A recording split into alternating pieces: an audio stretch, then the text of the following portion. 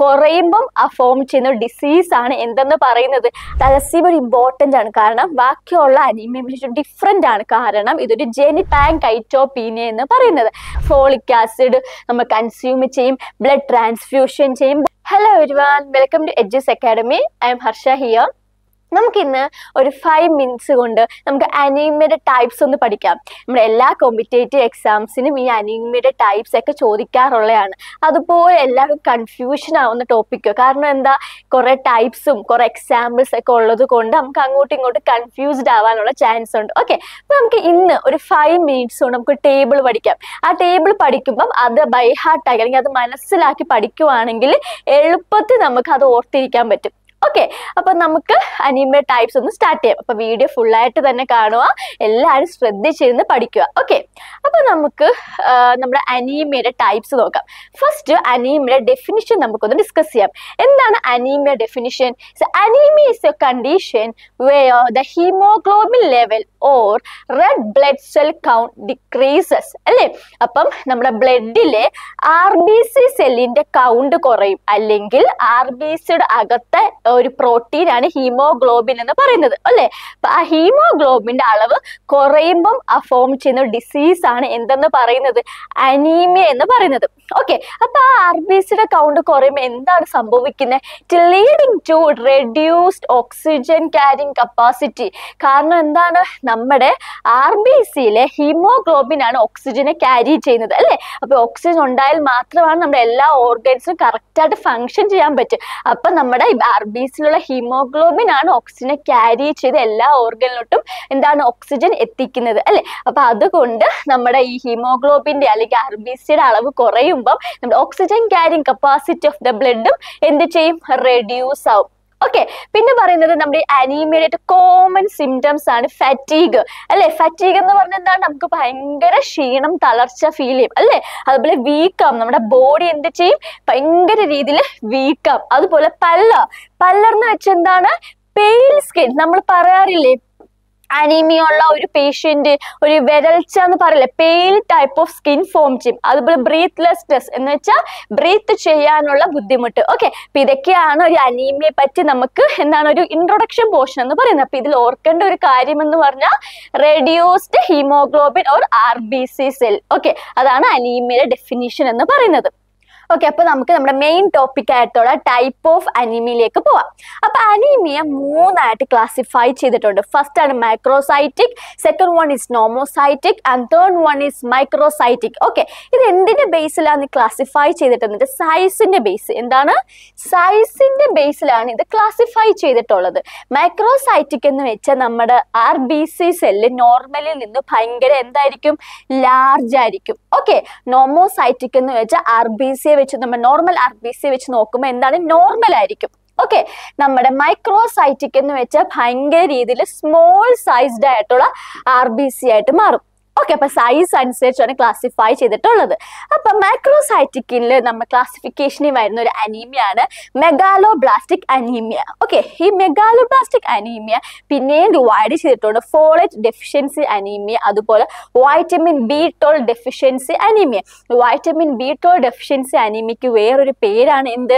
പ്രനീഷ്യസ് anaemia okay ഇപ്പൊ നോർമോസൈറ്റിക്ക് പിന്നെ നാലായിട്ട് ക്ലാസിഫൈ ചെയ്തിട്ടുണ്ട്. Haemolytic anaemia anaemia of chronic disease aplastic anaemia and sickle cell anaemia okay ഇപ്പൊ microcytic പിന്നെയും ടു ആയിട്ട് ഡിവൈഡ് ചെയ്തിട്ടുണ്ട്. Iron deficiency anaemia and thalassaemia okay അപ്പൊ ഈ ഒരു ഒരു ഫ്ലോട്ട് ചാർട്ട് എല്ലാവരും ബൈ ഹാർട്ട് ആക്കി വെക്കുക ഓക്കെ അപ്പൊ ഇത് ഇത് പറയുമ്പോൾ തന്നെ നിങ്ങൾക്ക് മനസ്സിലാവും. ഇപ്പൊ ഈ കോമിറ്റേറ്റീവ് എക്സാമിൽ ചോദിക്കാനുള്ള ഈ മൈക്രോസൈറ്റിക് ഇപ്പൊ ഒരു ഓപ്ഷൻ തന്നിട്ട് ചോദിക്കും. ഇതിൽ മൈക്രോസൈറ്റിക് ആയിട്ടുള്ള ഏതാണ്? അനീമിയ ഏതാണ്? മൈക്രോസൈറ്റിക് അനീമിയ ഏതാണ്? അങ്ങനെ ചോദിക്കും. ഓക്കെ അപ്പൊ ഈ ഒരു ഫ്ലോട്ട് ചാർട്ട് ബൈ ഹാർട്ട് ആക്കി വെക്കുവാണെങ്കിൽ നിങ്ങൾക്ക് ഈസി ആയിട്ട് ആ ക്വസ്റ്റ്യന് ആൻസർ ചെയ്യാൻ പറ്റും. ഓക്കെ അപ്പം നമുക്ക് ഇനി അടുത്ത ഓരോന്നും നമുക്കൊന്ന് ടേബിൾ പഠിക്കാം. ഓക്കെ ഇതെല്ലാം ഓരോ ടേബിൾ ആയിട്ട് നമുക്ക് പഠിച്ചു വെക്കാം.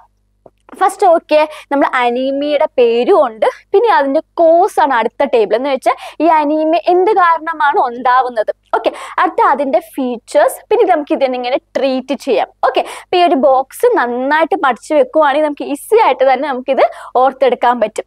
ഓക്കെ അപ്പൊ ജസ്റ്റ് ആ ഒരു അനീമിയയുടെ പേര് ആലോചിക്കാൻ വേണ്ടി ഒരു ട്രിക്ക് എന്ന് പറയുന്നത് ഒരു നിമോണിക്സ് ആണ്. ഈസ് ദ ക്യാമ്പ് എന്താണ്?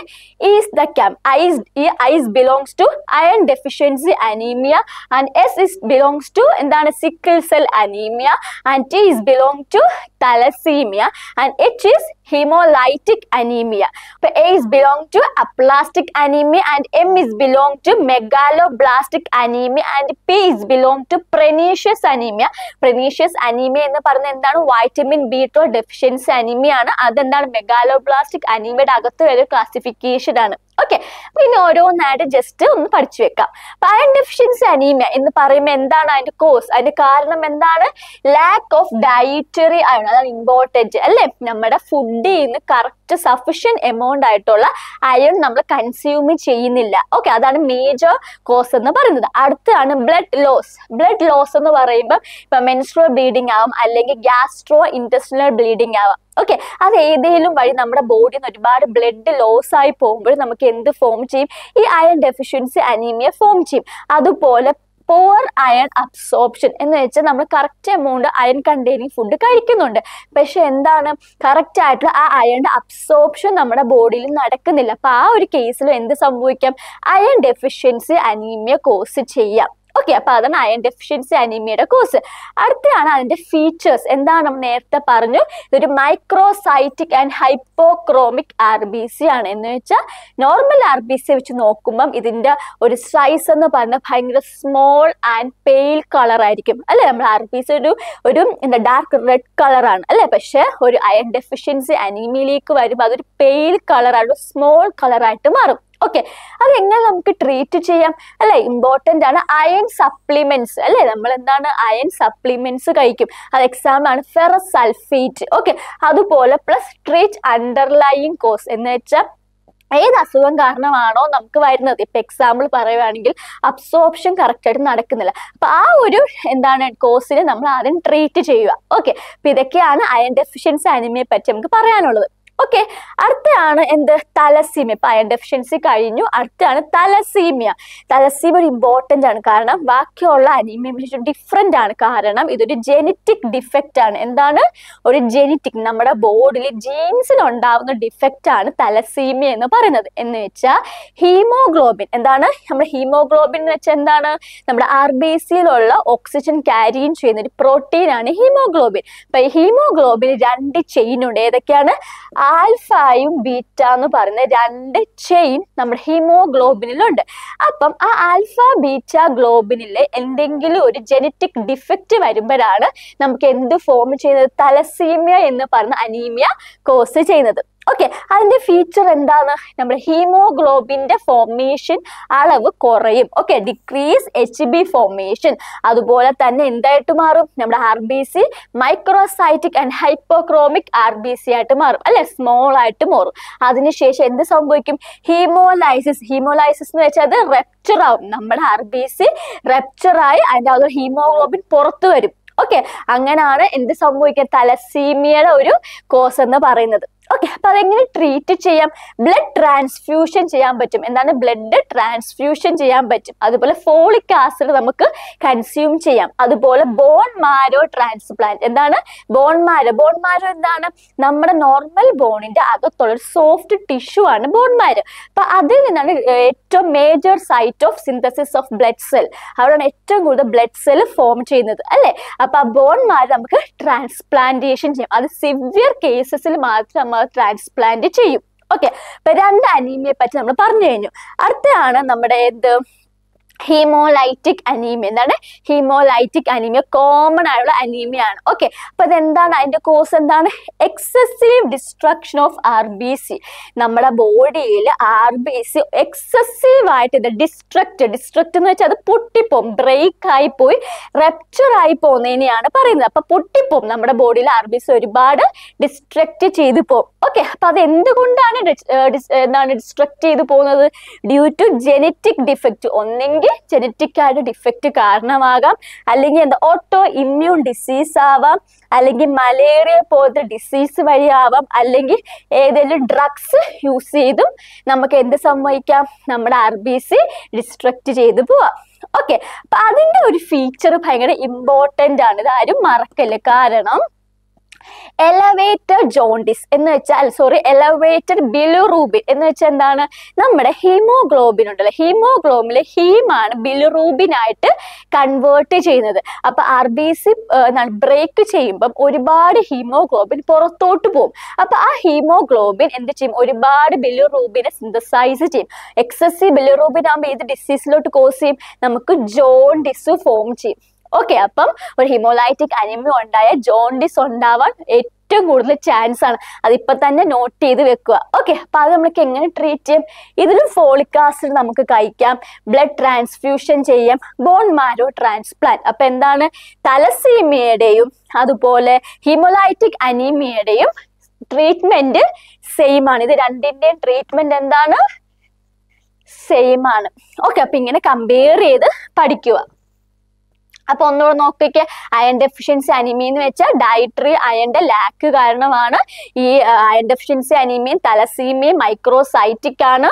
അപ്പൊ രണ്ട് നമ്മുടെ അയൺ ഡെഫിഷ്യൻസി അനീമിയ ട്രീറ്റ്മെന്റ് ആണ് അയൺ സപ്ലിമെന്റ് ഓക്കെ തലസീമിയ ഒരു ജനറ്റിക് ഡിഫക്റ്റ് വഴി ഉണ്ടാവുന്നതാണ് അത് ഓർത്ത് വെക്കണം.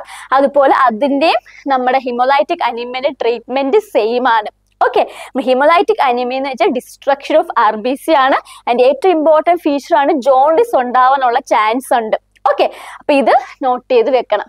ഓക്കെ അപ്പൊ നമുക്ക് അടുത്ത നമ്മുടെ അനീമിയയിലേക്ക് പോവാം. ഫസ്റ്റ് ആണ് അപ്ലാസ്റ്റിക് അനീമിയ എന്താണ് അപ്ലാസ്റ്റിക് അനീമിയ അതെന്താണ് aplastic anaemia bone marrow failure എന്താണ് bone marrow bone marrow failure വഴിയാണ് അപ്ലാസ്റ്റിക് അനീമിയ കോസ് ചെയ്യുന്നത്. ബോൺ മാരോ എന്ന് വെച്ചാൽ നമ്മൾ ഇമ്പോർട്ടന്റ് ആണ്. അത് അവിടുന്നാണ് നമ്മുടെ റെഡ് ബ്ലഡ് സെൽസ് നമ്മുടെ ബ്ലഡ് സെൽസ് ഫോം ചെയ്യുന്നത്. ഓക്കെ അപ്പൊ ഈ ബോൺ മാരോ ഫെയിലർ സംഭവിക്കും. എന്ത് സംഭവിക്കും? നമ്മുടെ ആർ ബി സിയുടെ പ്രൊഡക്ഷൻ എന്താണ്? ആർ ബി സി കുറയും.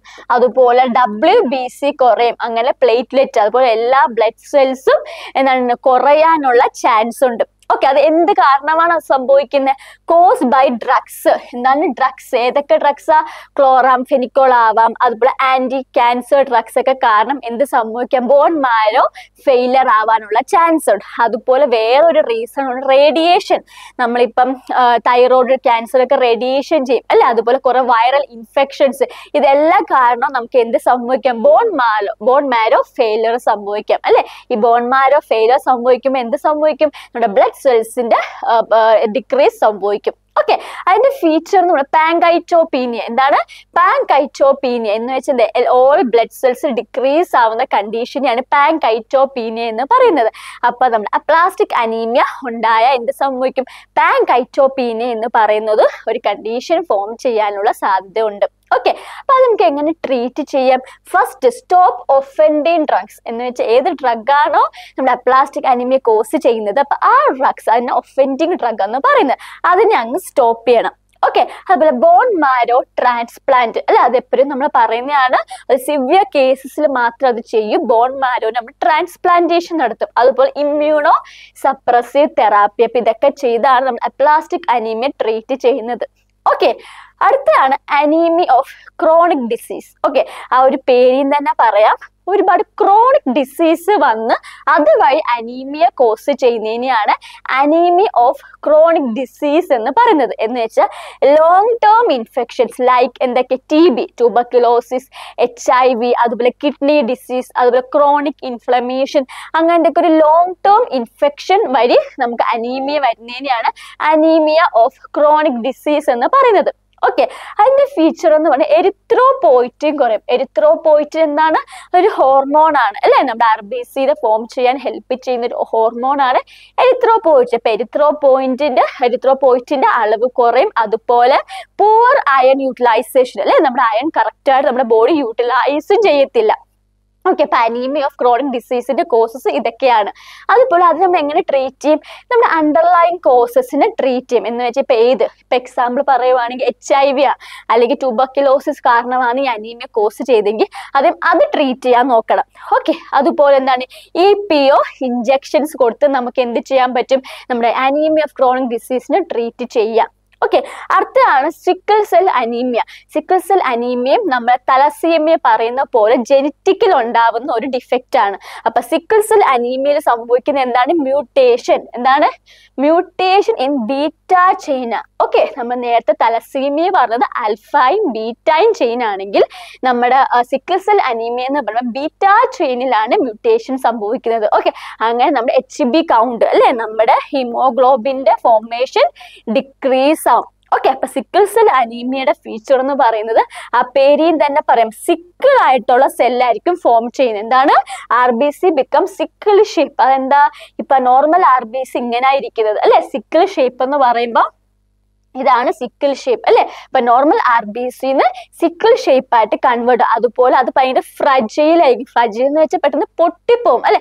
അങ്ങനെ ഹീമോലൈസിസ് ഉണ്ടാവും. ഓക്കെ അതെങ്ങനെ ട്രീറ്റ് ചെയ്യും? ഫോളിക് ആസിഡ് നമ്മൾ കൺസ്യൂം ചെയ്യും. ബ്ലഡ് ട്രാൻസ്ഫ്യൂഷൻ ചെയ്യും. Bone marrow transplantation okay in cases okay അതും നമ്മൾ കോമൺ ആയിട്ട് പറയുന്ന ട്രീറ്റ്മെന്റ് ആണ്. ഓക്കെ അടുത്താണ് മെഗാലോബ്ലാസ്റ്റിക് അനീമിയ എന്താണ് മെഗാലോബ്ലാസ്റ്റിക് അനീമിയ നമ്മുടെ വൈറ്റമിൻ ബി ട്വൽവിന്റെയോ ഫോളിക് ആസിഡിന്റെയോ ഡെഫിഷ്യൻസി കാരണം. എന്താണ് വൈറ്റമിൻ ബി ട്വൽവിന്റെയോ ഫോളിക് ആസിഡിന്റെയോ ഡെഫിഷ്യൻസി കാരണം ഉണ്ടാകുന്ന അനീമിയാണ് മെഗാലോബ്ലാസ്റ്റിക് അനീമിയ അപ്പൊ അതിന്റെ ഫീച്ചർ എന്ന് പറയുമ്പം ആർ ബി സി എന്ന ലാർജ് അല്ലെ? ബാക്കി എല്ലാം നോർമോസൈറ്റിക്കും മൈക്രോസൈറ്റിക്കും ആണെങ്കിൽ മെഗാലോബ്ലാസ്റ്റിക് അനീമിയ മാത്രമാണ് മാക്രോസൈറ്റിക് എന്ന് വെച്ചാൽ ലാർജ് ആയിട്ടുള്ള immature R B C form ചെയ്യും എന്താണ്? ലാർജ് ആയിട്ടുള്ള immature R B C form ചെയ്യും ഓക്കെ അത് നമുക്ക് എങ്ങനെ ട്രീറ്റ് ചെയ്യും?